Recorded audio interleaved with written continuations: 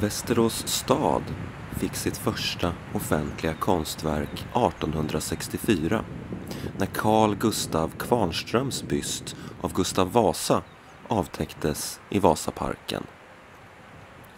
Därefter skulle det dröja ett halvt århundrade innan Västerås fick sitt andra utomhusverk, fontänskulpturen Vattenlek i Stadsparken. Fontänen uppfördes 1919 och utfördes av skulptören Carl Wilhelm Elmberg. Det var konstnärens första större uppdrag och han var endast 30 år gammal. Några år senare fick Elmberg även uppföra en minnessten över Västmanlands regemente som eh, än idag står söder om korsningen vid Kaserngatan längs med eh, Björnevägen. Vattenlek kom till genom en insamling och donation av den privata Fontänkommittén. Kommitténs syfte var att ersätta en enkel springbrunn med en konstnärligt utformad fontän i Stadsparken. Den mest generösa donatorn var fabrikören Fredrik Jansson. Med anledning av fabrikörens yrke kallades skulpturen för Bagarens pojke i folkmun. Än idag är det ett vanligt förekommande smeknamn på konstverket. Att verket egentligen heter Vattenlek är inte lika känt.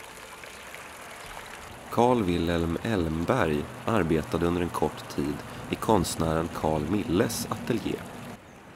Milles är en av Sveriges mest berömda skulptörer och utförde många fontänskulpturer. En av dem finns i Västerås.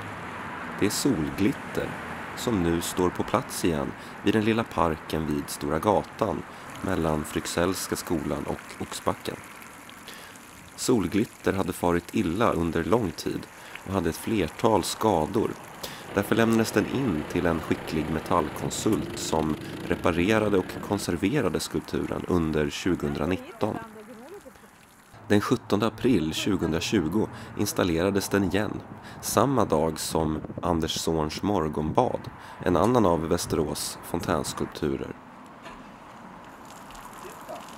Carl Milles original är från 1918 men finns i en stor upplaga och på många platser i Sverige. Västerås exemplar skänktes till staden 1946 en gåva av byggnadsfirman Anders Diös till minne av stadsarkitekten Erik Har. Skulpturen föreställer en najad på delfin, vilket även är en vanligt förekommande titel på verket. Titeln Solglitter är kanske som mest träffande om du besöker skulpturen en solig sommardag och får se hur den blir upplyst av det glittrande vattnet. För mer information om den offentliga konsten i Västerås besök Västerås konstmuseums hemsida.